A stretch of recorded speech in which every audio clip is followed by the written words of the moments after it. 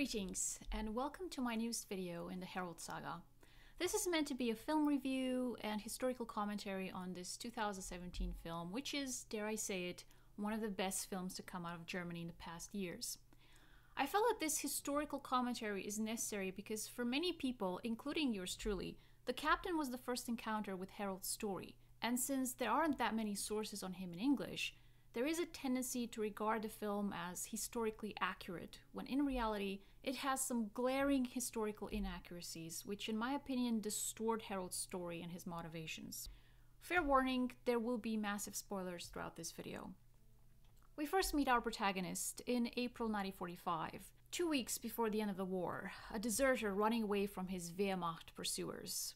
And this is where the historical accuracy already kisses us goodbye and hops on the train. Herold did not start off as a deserter, nor was he ever pursued by the Wehrmacht. His unit, the combat group Gramse, was chased out of the Netherlands and he simply lost contact with them in the chaos on the field. It was not an uncommon occurrence. The countryside was full of wandering soldiers who were looking for their units or hoping to come across some Wehrmacht checkpoint so they could be assigned to new units. By portraying Herold as a deserter, Robert Schwentke paints him as a coward, and Willi Herold was many things, but a coward he was not. In fact, I dare say that if he had been more of a coward, a great deal of people, including himself, would have been a great deal safer. His fatal flaw was the exact opposite it was his recklessness. Herold is trying to patch up the rags that were once his uniform when he meets with what appears to be another deserter, and has a moment of kindness when he brings him to shelter. Never happened. I really like their non-verbal communication though. You can see everything they want to say on their faces.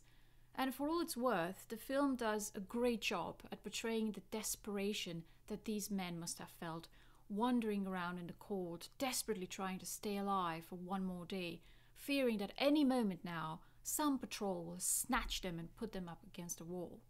We see what happens to thieves.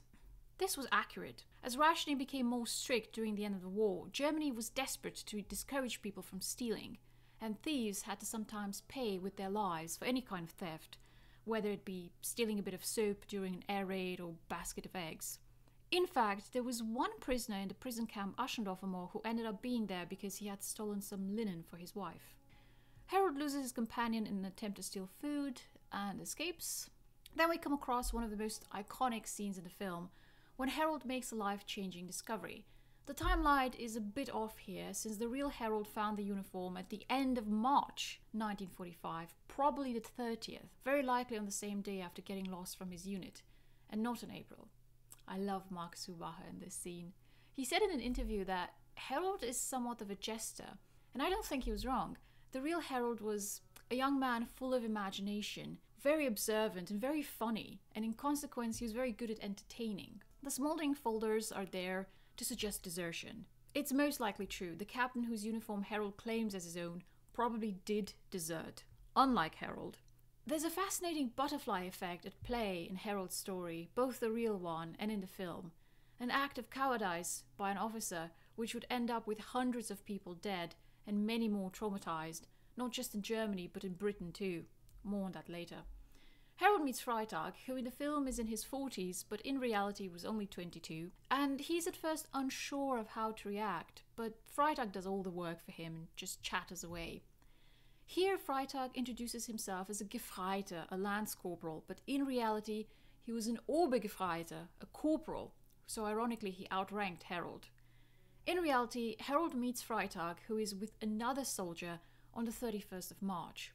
And just like him, the two have become separated from the unit, and unlike in the film, the real Herold had already mastered the identity of the captain, and he rebukes the two for not saluting him properly, after which he asks to see their paybooks. And after being satisfied that they were not deserters, which is another difference to the film, where it's clear that Freitag is a deserter and Herold plays along out of sympathy, Herold tells them to make haste and rejoin the unit. It's only on April 1st that Herold meets Freitag again at the Wehrmacht checkpoint and convinces the superior officer there to assign Freitag and four others to his unit. Oh, and one more thing. His name was not Walter Freitag, it was Reinhard Freitag.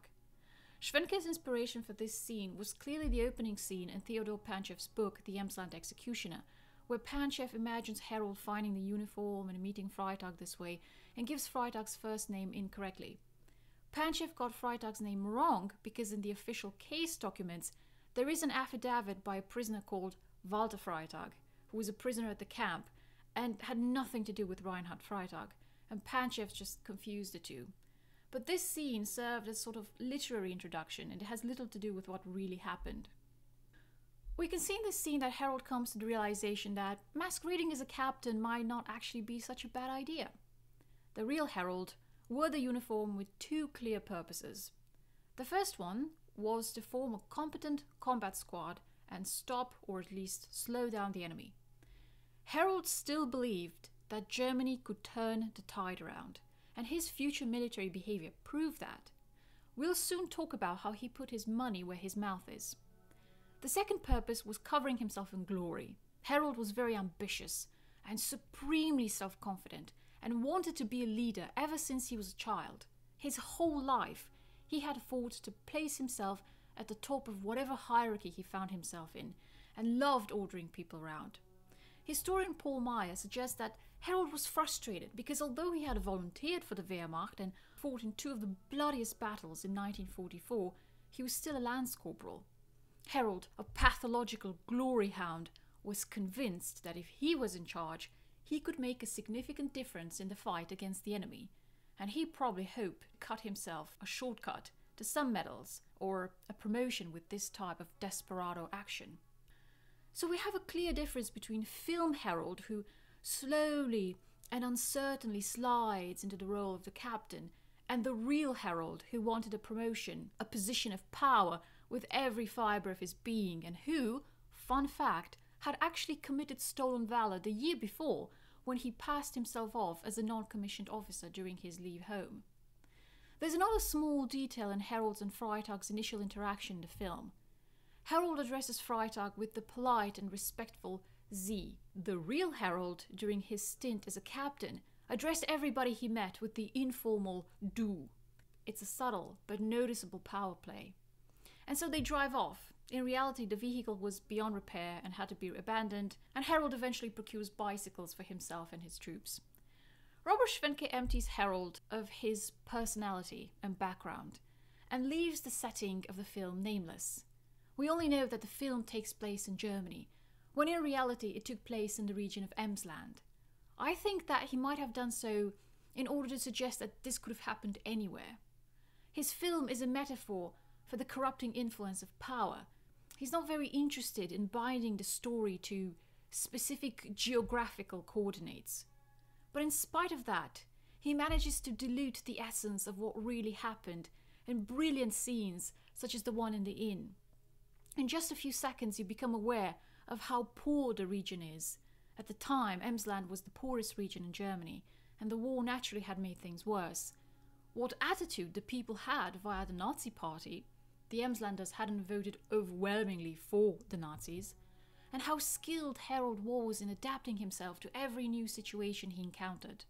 The way he starts with a subtle threat and then deflates the tension by asking how high the damages were is very clever, and although nothing like this really happened, it tells you everything you need to know about his personality.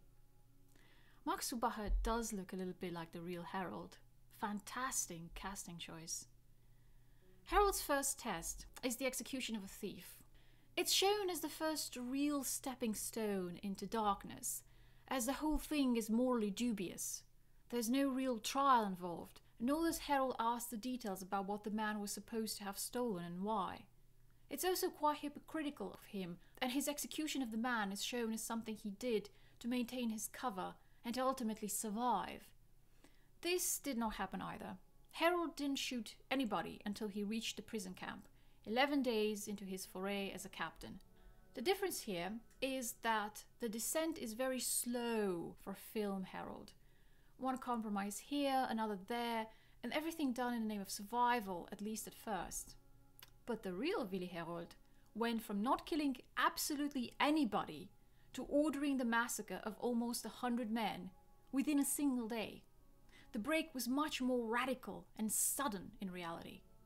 Oh, also, the real Herold had no hesitations about killing. He was used to it, and it wasn't a big deal to him.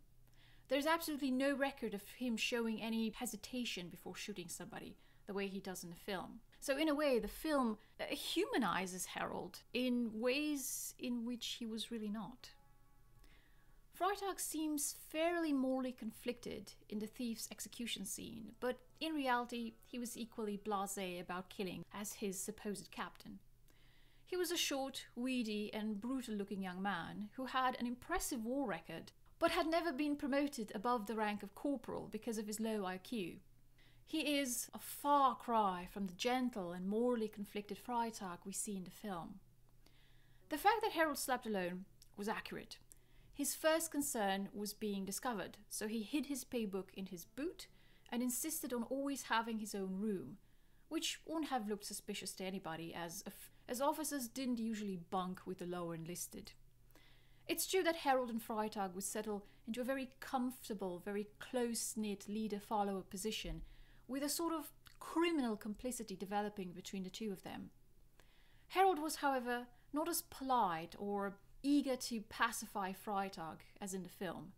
He was quite alright, even charming if you did absolutely everything he said and bow down to him but he was a mercurial, unpredictable character, and ultimately very cold blooded. 24 minutes into the film, we have the title drop. Ah, Kipinski. Great casting choice as well. He, he was good looking in reality. He spoke Polish better than German and had a large amount of gold teeth in his mouth. Kipinski is immediately positioned as a sort of friendly enemy to Herold and immediately realizes that Herold is a fraud by looking at his pants. In reality, there wasn't any conflict between Herold and Kipinski, and Herold's pants fit him well. It's his uniform jacket that was too wide in the back. Anyways, he agrees to join Herold, placing him in the uncomfortable position of having a snake in his unit.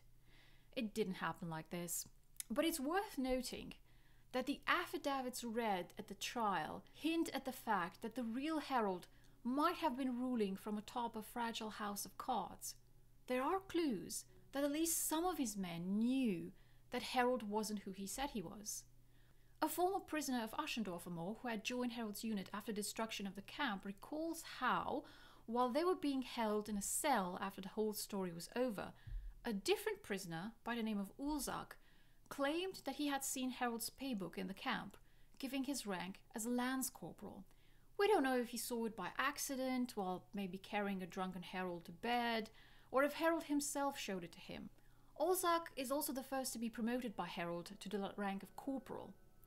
Was it an incentive to keep his mouth shut? In any case, Schwentke manages to sketch the delicate situation Herold found himself in as an impostor. In the film, it's clear that Kipinski's subordination is paper thin, and he drops off certain teasing hints to Herold that he's on to him. The real Herold would not have tolerated that. He was absolutely not conflict adverse and was very much temperamental, so Kipinski wouldn't have lasted a minute in Herold's unit with that attitude.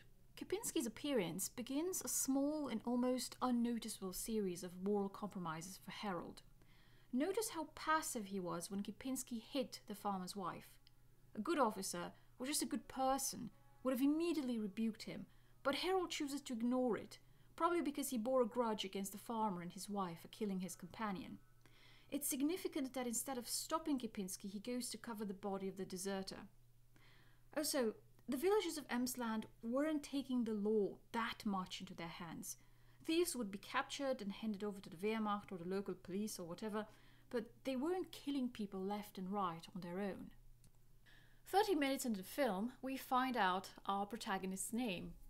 I think it would have been cool to give Hubacher a sample of Herold's handwriting so that it could be similar. Herold had a very distinctive way of writing the letter H.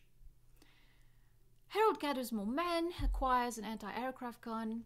In reality, he and his men had stumbled upon a lost group of parachutists who had a vehicle, and that's when he finally gets a car. In the 10 days before he reaches Aschendorfer Moor, Herold makes genuine attempts to fight the enemy. And this is something that the film leaves out completely. He organizes scouting missions with enemy contact, mostly at night because of the enemy planes, and takes part in them personally. He fights the enemy head on several times and mounts an attack against the occupied village of Lawton, fights side by side with his men, even getting injured as a result. Herold's military behavior is not that of a coward. He even mounts the attack against the Allies in Lawton against the advice of other Wehrmacht officers. They advise him not to do it, but he stubbornly goes on ahead. These attacks that he leads are ultimately rejected because the Allies have tanks, and he becomes frustrated with this lack of weaponry and manpower. He's sure that if he had just more men and better weapons, he could stop the Allied advance. And it's this belief that drives him to Aschendorfer because he had heard that there are thousands of former Wehrmacht soldiers languishing there, and he hopes to be able to take them and use them to fight the enemy. The encounter with the Captain Sichner is an amalgam of several encounters which Herold had managed to weasel out of. In this scene, there is a hint that these soldiers are up to no good, and that Captain Sichner agrees to let Herold go unchecked because he's afraid his misdeeds will be brought to light and he will be made responsible by the Wehrmacht. In my research, I haven't found any hints that what this captain was doing was off. He was fully within his right to identify the men as they stumbled into his checkpost. This is what a checkpost is supposed to do. You find a soldier there, you ask him to identify himself. It's a way to weed out deserters. In any case, the real Herold doesn't go with them. He goes on with his troop towards the north. I'm not sure who Captain Junkers is supposed to be based on, I think he might be a completely original character. He recognizes Herold from somewhere but can't put his finger on where he knows him from. Fun fact two different people, Lieutenant Heinz Müller and SS Untersturmführer Josef Urbanek, actually mistook Herold for someone else. And in the case of Urbanek, who confused him with the Luftwaffe captain he had met in France, leads to Herold's identity as a captain being further solidified as Urbanek tells his boss, District Leader Buscher, that he knew Herold from France. Constant drinking is also accurate. Wehrmacht officers and prison officials alike were hitting the bottle pretty hard. Herold himself was quite fond of alcohol too. The real Herold was far more confident and cocky than Hubacher's visibly uncertain Herold. He looked and acted like the real deal. He was a position that he had wanted and practiced for all his life. He was enjoying it profoundly. Here we have Herold's motivation as survival. He agrees to shoot the prisoners because he feels that submerging himself in this identity would insulate him from being discovered and killed. In reality, however, Herold agrees to kill the men for two reasons to keep those prisoners who were political prisoners out of the enemy's hands, and to placate Schutte by getting rid of those prisoners who had attempted to escape. Only then will Herold be allowed to get the prisoners he wants to use to fight the enemy. So he saw these massacres as a sort of twisted side quests before he could unlock his main quest and progress his story further. The scene is fairly accurate and beautifully played. In just a few minutes, you get a detailed and historically accurate description of the situation. I really like how Herold asked Captain Junkers if he remembered where they knew each other from after all. It's such an unnecessary risk, and this is exactly the kind of risk the real Herold was constantly taking. He was saying things like he belonged to the 6th Parachutist Division, which was risky because they were nearby, somebody could have made inquiries. He was telling people that he had orders from the Fuhrer himself, crazy stuff, but he was also enormously lucky because people believed him. All it would have taken was for one person to really insist that he shows his papers, and it would have been all over for him. While the real Kipinski did indulge his worst impulses in the camp, the real Herold was not as passive as film Herold, and neither was Freitag. In fact, Freitag was one of the cruelest and most violent men under Herold's command. The abuse that the prisoners suffer at the hands of Herold's men is depressingly accurate. I'm going to skip most of it because that's all we really need to know. So Schutte goes to get the camp supervisor, Friedrich Hansen. Hansen's characterization is spot on. He's a complete bureaucrat, and he's absolutely right. The SA serves only to guard the camp and the prisoners when they are out on work missions. But the part where he's exploiting the daughter of a prisoner so her father could get a winter coat is new to me. In all my research, I haven't come across any reports that Hansen was up to anything like that. It could be that the film wants to turn him into the prototype of the prison official, make a figurehead out of him. Small side, Schutte actually had his arm in a sling at the time of Herold's visit to Aschendorfer Moor. Hansen tries to reach Dr. Thiel in Papenburg. I love how Herold unexpectedly yoinks Schutte into the pot by essentially forcing him to lie that the prisoners attacked Herold. This was Bernd Hölscher's first role, and he acts wonderfully. He's a melting pot of barely suppressed excitement, eagerness, and uncertainty. There's a bit of here and there going on between the camp and Papenburg, where Herold and Schutte actually drive around trying to convince officials to give them the green light for the executions, and I fully understand why this was left out. It would have been tedious. This scene is psychotically hilarious. The rivalry between Hansen and Schutte reaches kindergarten proportions. Where did Herold get his coat? He didn't have it in the beginning. This is supposed to be Heinz Hofmeister. The real Hofmeister was in his 40s and was a sergeant. He was the only one who knew how to man the anti aircraft gun, and this is the reason why he asked his superior officer to allow him to join Herold's troop. It's he who was assigned by Herold to be his NCO, since he outranked all the other men. The way the men are positioned shows that this was inspired from Herold's second massacre of the prisoners marked for desertion. Herold hated deserters. As I said before, he did not start as one. Of course, one can argue that Herold becomes a deserter when he puts on the uniform, as he deserts from his position of Lance Corporal, the only legitimate role he had within the Wehrmacht. But Herold did not see himself as a deserter, since he continued to fight the enemy and operate within a military framework. And the Germans do charge him with desertion later, but this is one of the charges which his lawyer can successfully fight against, according to Herold himself, so grain of salt. The massacres were even worse than it happened in the film. Men were crying for their parents, howling in pain, they had the most gruesome injuries. Some who were still alive were hit by shovels or even buried alive because nobody bothered to check whether they were truly dead before burying them. Freitag is absolutely not passive during this massacre. He's a very willing and very active participant. He empties pistol after pistol into the victims.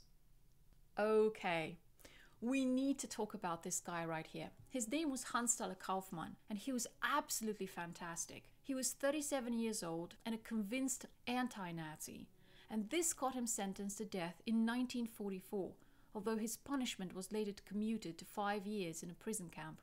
He was sent to the prison camp Esterwegen, where he suffered under the brutality of the prison guards and the miserable conditions in the camp. On the 10th of April 1945, because the situation in Germany was becoming desperate, he was released and sent to join the Volkssturm, and he was given a bunch of former prisoners and farmers to command.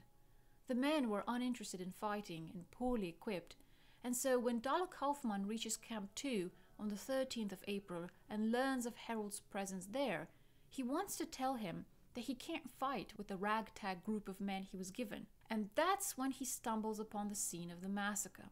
He witnesses all this horror, and he could have kept his head down and thanked his lucky stars that he was no longer a prisoner and had a chance at an honorable discharge.